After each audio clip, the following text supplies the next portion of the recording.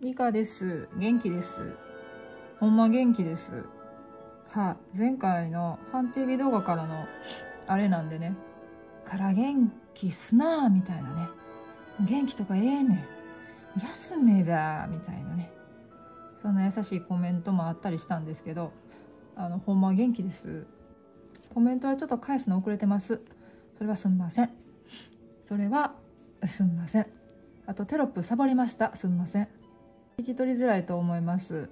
聞き取りづらいなと思われた方はね、聞き取りづらかったなって思っておいてください。そんな聞き耳立てなくても大した話は基本喋ってません。大丈夫です。で、早速病院からのスタートでね、あの、病院行った日、生理3日目ですね。あの、不妊治療されてる方はまあまああれなんですけど、知らない人ね。不妊治療って生理3日目からスタートするんですよ。基本ね。ダバダバの時ね。そうそう。で、この日、その、行った日、いつもの担当の先生がいなくて、おじいちゃん先生が担当してくれたんですけどね。このおじいちゃん先生、耳がめっちゃ遠いんですよ。で、そういえばそのおじいちゃん先生、私の採卵の時に、あの、採卵してくれた先生やって、あら？と思って、あのおじいちゃん先生やんと思って。シリいつから来たん？って聞かれたから、あ、3日前からですって答えたら、お、お10月3日って言い出して。で、あの、過去に戻ろうとしとったんで、いや、先生3日前ですって、はっきり、はっきり言ったんです、私口調でね。はっきりとした口調で言いました。なのに先生、10月3日言うてブツブツ言いながらカルテ打ち込み始めたんですよ。やっばーと思って。全然通じんやんと思って、ほな、奥から、あの、看護師さんが走ってきました。走って飛んできました。先生、3日前です、言うて。今11月です、言うて。飛んできました。まあそんなこんなでね、スタートした最後の治療です。でまあ最後、最後言うてまた最後やないかもしれんのですけど、とりあえずね、タイトルをつけさせてください。39歳最後の不妊治療、ファイナル。言うてね、もうすぐ40になるんですけどね、私。あの心優しき仲間たちがですよ。ね。あの DM くれた人ももうありがとう。DM くれた人もね。DM くれた人もありがとう。コメント欄にあのコメントを書いてくれた人もありがとう。で、気ぃつこうでね。あの連絡控えとる人もありがとう。分かってる。気ぃ使って控えてるっていうのも。うん。みんなの愛届いてます。ここに。うん、分かってます。でね。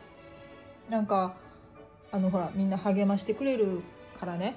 あら、まあ、ありがとうと思って、まあ、あの、廃人の時にこう読んどったんですけど、結構、あの、なんや、不妊治療しよって、で、その、今は、こう、長い不妊治療期間を経て妊娠しましたみたいな人のね、あの、励ましのコメントっていうのが結構あったんやけど、えっとね、結構あったんやけど、で、今までそのなんか YouTube の方のコメントを書くも控えとったみたいな人もね、今回すごいあの、励ましの愛コメントもらって、で、思ったんが、結構みんなあれなんよね。だけん気ぃつこうてさ、その自分不妊治療しよったけど、いやもう子供もできとる人間からのコメントなんて嬉しくないと思うよったみたいなね。だけんちょっと控えとったみたいな感じの人がね、ちらほらおったんよ。そんなことないっけそんなことないっけ ああ、そうやってみんななんか控えとったんやなと思って、ほら、なんて言うんかな。その、なんて言うんかな。不妊治療をしとる者同士の絆って結構強くなるやんか。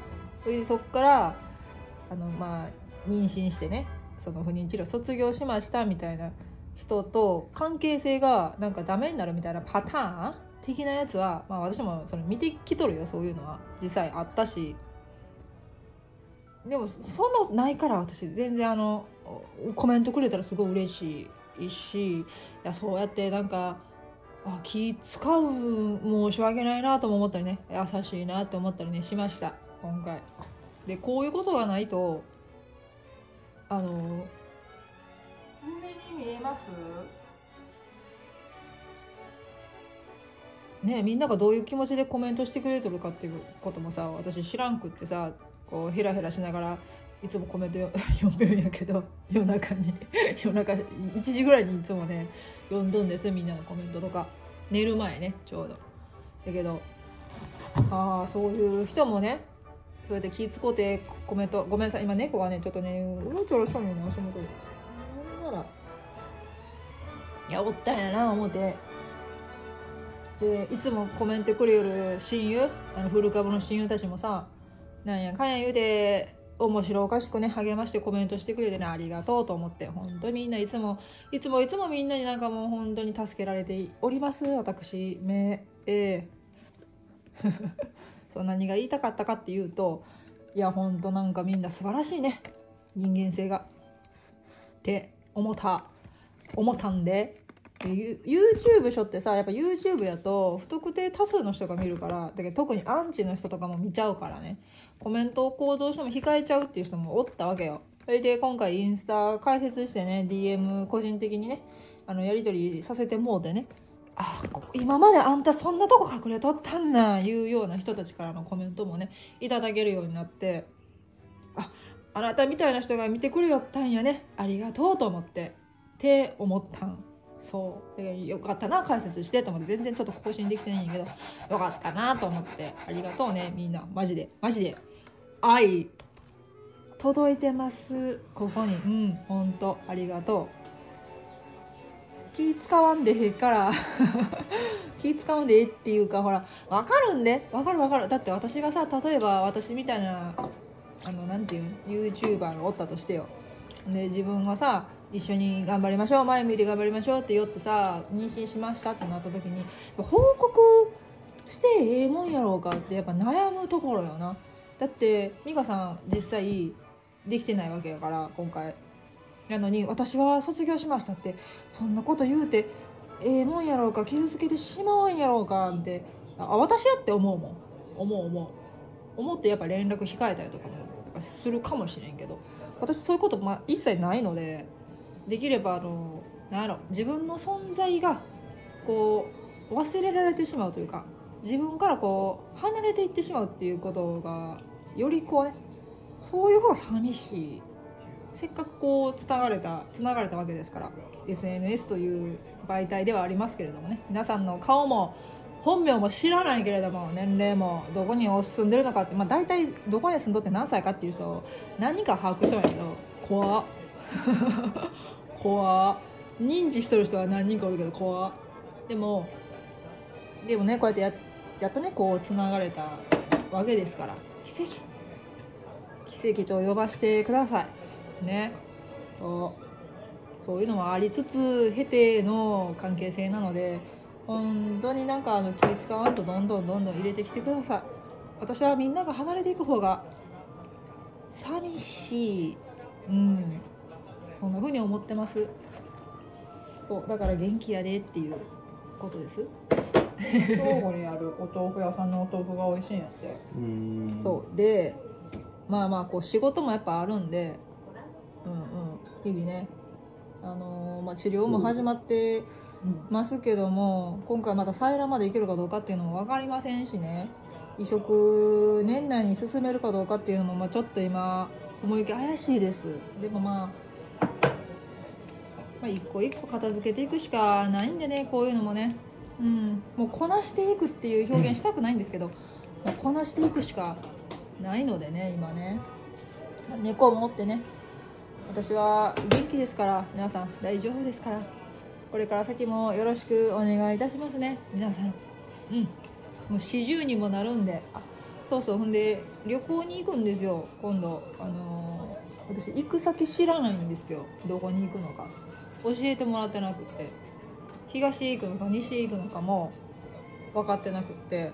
なんか8月ぐらいにねなんかもう宿の予約はしとったらしいんです。うん。でも教えてもらえなくてなんかサプライズで。やめてほしいんですけどね私あのサプライズとかあんま得意な方やないんで言ってほしいタイプなんです。どこ行くか分からんないけどちょっと私ね大分やないかと踏んでます今。うん。別府？別府やないかなと思って。なんかそんなことしそうな気がするんですよ。なんでかって私が別府別府って昔から言いよるからね。温泉地どこに行きたいっていう話になった時に別府が草津なんですよ。でやっぱ草津は結構距離的にね厳いところがある。そうそう。あの今ねスーパー繁忙期なんですよ仕事が。あのお父様の方が。この秋ってブライダルのブライダルシーズンでもありますし七五三のシーズンでもあるのでちょっとね忙しいの。だからせっかくぶち開けた一泊の旅行に草津まで行くとねほぼほぼ移動時間で潰れてしまうんで、まあ、大分も遠いんやけど。でまあ私は別府やないかと踏んでますよここ今。うん。ここね別府やったらどうする？お前の心見透かしとるな私言うてね。言うてしまうかもしれん。うん。お前の考え？見透かしてます嫁言うて。言うかもしれませんね。そんなこんなでねまたこう治療が始まります。ここから先、えーとね、ずっとね、えー、と今度ねまたね、えー、と4日後に病院行かないかんので果たしてどうなるかっていうところなんですけど。うん。あのこれうちの猫がテレビの前でこう背景が変わるんですけどなんか旅行に行ったような感じのあれになるんでちょっと可愛いなと思ってちょっと挟みますね動画。可愛いでしょ？そうそう。はい。なんでまた一からね頑張らさせてもらいますんで。頑張らさせてもらいますんで応援のほどよろしくお願い申し上げます。ありがとうございました